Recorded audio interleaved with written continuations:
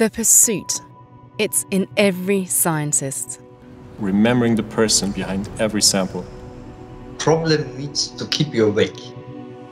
My style is rather, I get up in the morning at four. That sort of serendipitous discovery of you know, eureka moment. That's the privilege of an academic. We are allowed to be excited.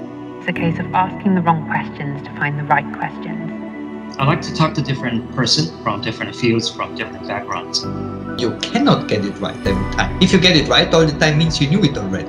Big motivating factors was to come here and change academia. It's really being in nature with the nature sounds. You can be doing is anything else. It's listening to other experiences. The caffeine. Collaborating. Beautiful experiments. It's the small wins. My identity. It's not the end goal, it's the pursuit. Your stories have the power to inspire, and when we share, we discover that we are all connected in the pursuit of progress. Join the pursuit.